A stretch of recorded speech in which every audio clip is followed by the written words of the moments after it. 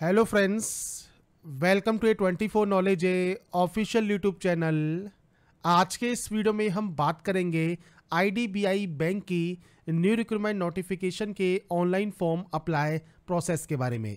तो फ्रेंड्स यहाँ पर जो ये नोटिफिकेशन है आईडीबीआई बैंक में, ये फ्रेंड्स आपके यहाँ पर जारी की गई है एजुकेटिव पोस्ट के लिए, जिसके लिए फ्रेंड्स आप ऑनलाइन आवेदन कर सकते हैं। और इस वैकेंसी या नोटिफिकेशन से रिलेटेड जानकारी आपको जॉब रास्ता पर देखने को मिल जाएगी। लिंक मैंने वीडियो डिस्क्रिप्शन में दिया हुआ है। वहाँ पर जाकर आप डिटेल्स को वेरीफाई और चेक कर सकते हैं। तो यहाँ पर देखिए फ्रेंड जो नोटिफिकेशन है, इसके लिए आप अप्लाई ऑनलाइन कर सकते हैं। और ये वैकेंसी जो है, वो आपके एक पोस्ट के लिए है, जिसमें फ्रेंड्स 24 मई से 7 जून 2023 तक आप इसमें ऑनलाइन आवेदन कर पाएँगे। अप्लाई करने के लिए फ्रेंड्स आपको आना होगा इस पोर्टल पर, जहाँ से आप इसमें ऑनलाइन आवेदन कर सकते हैं। सबसे पहले फ्रेंड्स आपको न्यू रजिस्ट्रेशन टैब पर क्लिक करना है। इसके बाद फ्रेंड्स आपको यहाँ पर कुछ बेसिक जानकारी फिल करनी है। आपको फ्रेंड्स आपकी एक्चुअल जानकारी फिल करनी है। मैं सिर्फ़ यहाँ पर जो डाटा है, वो डेमो के तौर पर यहाँ पर फिल कर रहा हूँ। सबसे पहले फ्रेंड्स यहाँ पर आप देंगे आपका नाम। तो फ़र्स्ट नेम देना ज़रूरी है मिडिल नेम या लास्ट नेम है तो आप यहाँ पर दे सकते हैं, नहीं तो आप यहाँ पर ब्लैंक छोड़ देंगे। इसके बाद फ्रेंड्स नीचे आपको आपका टेन डिजिट का मोबाइल नंबर एंटर करना है, आपकी मेल आईडी आपको एंटर करनी है। अब मेल आई आईडी फ्रेंड्स देखिए आपकी मेल आईडी कुछ भी हो सकती है, जैसे मान लीजिए एक्स वाई जेड आपकी मेल आईडी है तो आप यहाँ पर डोमेन सेलेक्ट कर लेंगे किस डोमेन पर आपकी मेल आईडी रहेगी। और यहाँ पर जो कन्फर्म का ऑप्शन है, यहाँ पर फ्रेंड्स आपकी मेल आईडी को आप फ्रेंड्स यहाँ पर विद डोमेन आपको देना होगा। तो आपकी जो भी एक्चुअल मेल आईडी है, वो आप यहाँ पर फिल करेंगे। इसके बाद आप इस सिक्योरिटी कोड को फिल करेंगे और उसके बाद सेव एंड नेक्स्ट आप यहाँ से कर देंगे। इसके बाद फ्रेंड्स आपका देखिए जो रजिस्ट्रेशन प्रोसेस है वो कंप्लीट हो जाएगा। रजिस्ट्रेशन प्रोसेस कंप्लीट होने के बाद आपको फ्रेंड्स फोटोग्राफ एंड सिग्नेचर यहाँ पर अपलोड करने हैं। तो आपको फ्रेंड्स इसके लिए देखिए गाइडलाइन दी गई है। आप गाइडलाइन चेक कर सकते हैं। जैसे 20 से 50 के में फोटोग्राफ और 10 से 20 के में आपको सिग्नेचर अपलोड करना है। तो ब्राउज पर क्लिक कीजिए फ़ाइल को सेलेक्ट कीजिए और यहाँ पर अपलोड कर दीजिए। तो friends photo and sign upload करने के बाद आपको फ्रेंड्स नेक्स्ट ऐप पर क्लिक करना है। इसके बाद फ्रेंड्स सबसे पहले आपको ऑप्शन मिलता है कैटेगरी का। तो आपकी इनमें से जो भी कैटेगरी है जनरल ओबीसी एससी एसटी आप सेलेक्ट कर सकते हैं। और इसके बाद फ्रेंड्स अगर आप पीएच कैंडिडेट है तो यस कर सकते हैं। टाइप ऑफ़ डिसेबिलिटी क्या है, वो आपको सेलेक्ट करनी है। इसके बाद फ्रेंड्स आपकी जो डिसेबिलिटी है, वो परमानेंट है या नहीं है। आपका डिसेबिलिटी सर्टिफिकेट कब तक वैलिड है? इसके अलावा आपको एक्स्ट्रा टाइम चाहिए, आपका राइटिंग हैंड अफेक्टेड है, आपको स्क्राइब चाहिए, नहीं चाहिए, आप उसकी जानकारी प्रोवाइड कर सकते हैं। नहीं है पीएच कैंडिडेट सिंपली आप नो कर देंगे। इसके बाद फ्रेंड्स यहाँ पर देखिए पर्सन है, अगर आप स्पेसिफाइड डिसेबिलिटी कवर्ड जो कि फ्रेंड्स सेक्शन टू के अंतर्गत होती है तो आप यहाँ पर यस या नो कर सकते हैं। इसके अलावा फ्रेंड्स नीचे आपको यहाँ पर आना है, जिसमें आप स्क्राइब की जानकारी प्रोवाइड करेंगे। अगर आप इसमें एप्लीकेबल हैं, आप लेना चाहते हैं स्क्राइब तो। नहीं तो आपको डायरेक्टली नीचे आना है और यहाँ पर फ्रेंड्स नीचे आपको आने पर आपसे पूछेगा चाइल्ड या फैमिली मेंबर जो कि 9084 राइट्स के में जो है अफेक्टेड है तो यस या नो आप कर सकते हैं। रिलीजन आपको सेलेक्ट करना है।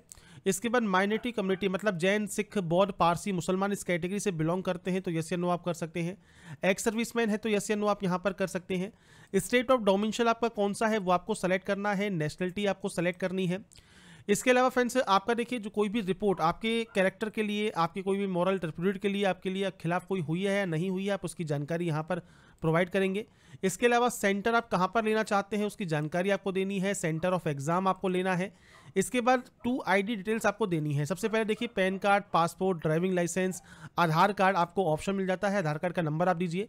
और कोई सेकंड आईडी कार्ड आप यहाँ पर ले सकते हैं और उस आईडी कार्ड का नंबर आप यहाँ पर प्रोवाइड करेंगे। इसके बाद फ्रेंड्स नीचे आपको डीओबी सेक्शन है तो आपका जो भी डेट ऑफ़ बर्थ है date month and year friends आप प्रोवाइड करेंगे। आपका जेंडर आपको सेलेक्ट करना है, जुड़वा भाई बहन आप हैं या नहीं है, आप उसकी जानकारी देंगे। मैरिटल स्टेटस आपको देना है। इसके बाद फ्रेंड्स आपको आपका जो फादर नेम है, वो आपको यहाँ पर एंटर करना होगा। इसके बाद आपको आपका मदर नेम यहाँ पर एंटर करना होगा। स्पाउस नेम में आता है पति या पत्नी का नाम। अगर ये आपका एप्लीकेबल है तो आप जानकारी प्रोवाइड कर सकते हैं। इसके बाद फ्रेंड्स आपका पूरा एड्रेस क्या है और ये आपका प्रेजेंट एड्रेस रहेगा। इसमें आपको फ्रेंड्स सबसे पहले डिस्ट्रिक्ट मेंशन करना है, आपका स्टेट मेंशन करना है और उसके बाद आपको आपका पिन कोड मेंशन करना होगा। अगर आपका फ्रेंड्स प्रेजेंट और परमानेंट एड्रेस सेम है तो आप सेम एस पर क्लिक कीजिए। अलग अलग है तो आप अलग अलग एंट्री करेंगे। इसके बाद चॉइस ऑफ़ जीएसटी सेलेक्ट कीजिए और उसके बाद यहाँ से डाटा को वैलिडेट कर लीजिए। वैलिडेट का फ़ायदा क्या है कि कोई भी ऑप्शन अगर आपने ब्लैंक छोड़ा होगा तो आप चेक कर सकते हैं कि ये ऑप्शंस आपको यहाँ पर फुलफिल करने हैं। जैसे ही आप इन ऑप्शंस को फुलफिल करेंगे और उसके बाद फ्रेंड्स वैलिडेट पर क्लिक करेंगे तो देखिए वेरीफाइड आपका ये सक्सेसफुल हो जाएगा। वेरीफाइड होने के बाद आपको डायरेक्टली सेवन नेस पर क्लिक करना है। यहाँ पर आने के बाद सबसे पहले देखिए क्वालिफिकेशन एक मई 2023 तक कंप्लीट आपकी हो जानी चाहिए।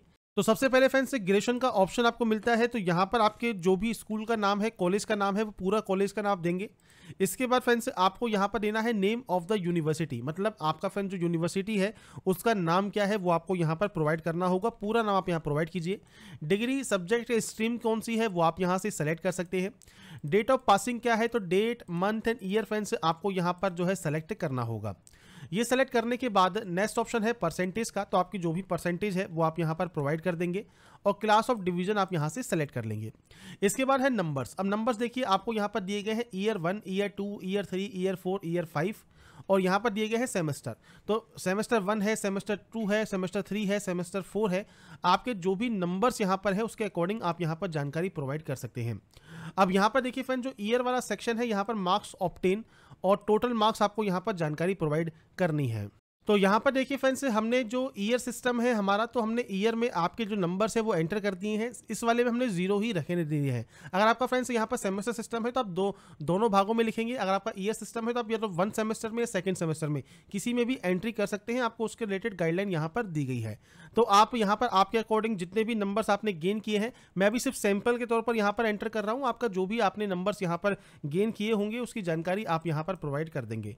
आपकी फ्रेंड्स सारी जानकारी यहाँ पर आ जाएगी परसेंटेज आपकी यहाँ पर आ जाएगी, और ये परसेंटेज आपकी यहाँ पर देखिए, जो भी आप एंटर करते हैं, ये सेम होनी चाहिए। तो फ्रेंड्स सैंपल के तौर पर देखिए, मैंने अभी डाटा एंटर की है, आपका जो एक्चुअल डाटा है, वो आप एंटर करेंगे। अगर आपके पास पीजी डिग्री है, कोई प्रोफेशनल क्वालिफिकेशन है तो आप जानकारी दे सकते हैं। आपको कंप्यूटर की बेसिक नॉलेज होनी चाहिए, आप यस करेंगे। और क्या बेसिक नॉलेज है तो बेसिक नॉलेज लिख सकते हैं, कोई सर्टिफिकेट है तो सर्टिफिकेट की जानकारी प्रोवाइड कर सकते हैं। अगर कोई वर्क एक्सपीरियंस है तो आप यहाँ पर यस या नो कर सकते हैं। लैंग्वेज आप कौन कौन सी जानते हैं तो कम से कम एक लैंग्वेज तो आपको आनी चाहिए। लिखना, पढ़ना और बोलना मतलब रीड राइट और स्पीक बाकी आप चाहें तो मल्टीपल लैंग्वेज दे सकते हैं।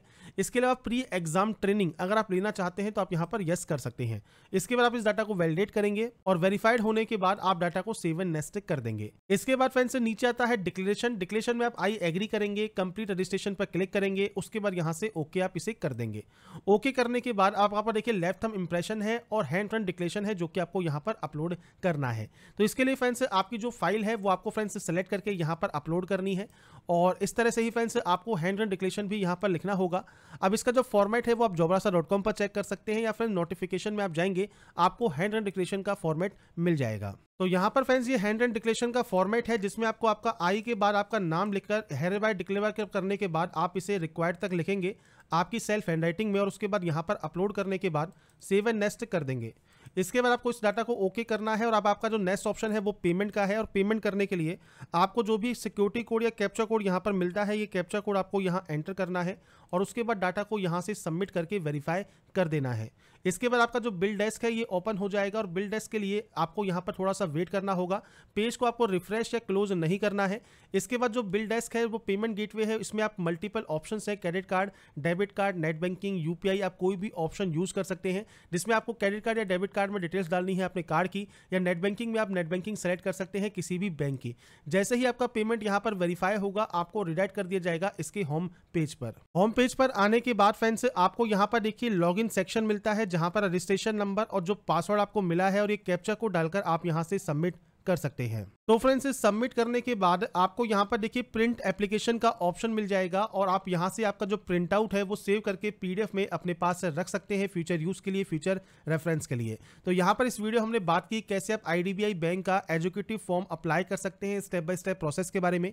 अगर आपको हमारा ये वीडियो अपडेट पसंद आई है तो लाइक सब्सक्राइब एंड शेयर ज़रूर कीजिए और बाकी की ऐसी ही जानकारी के लिए बने रहिए हमारे साथ, देखते रहिए हमारा YouTube channel thanks for watching